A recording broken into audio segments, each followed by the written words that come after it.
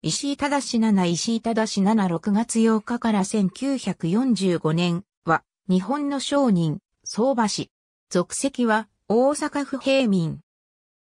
大阪の東区横堀に自宅があったことから、横堀将軍のあだ名で知られた。滋賀県平民、北村助の三男として生まれる。13歳で大阪の材木問屋石井商店に小僧暴行に入る。20歳の時に主人に無断で材木の買い占めを行い、距離を得る。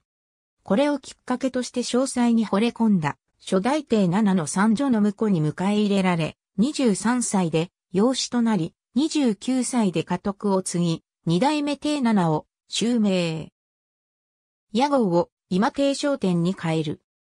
材木商を営み、その傍ら1907年頃より株式、1914年、1915年頃より米国、1917年、1918年頃より面子、面価、同等の定期または現物取引をはじめさらに不動産の売買をし、巨額の利益を受け1920年3月上旬においてはその資産8000万円と称せられるに至る。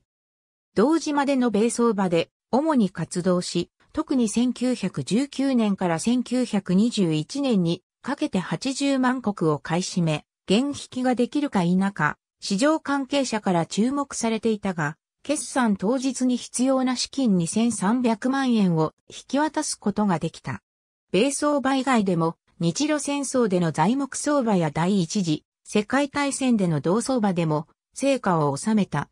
しかし、相場の資金繰りでは、手形の信用が利用され、さらに、高知商業銀行の経営権を握って、機関銀行とするなど、不正な手段によるものだった。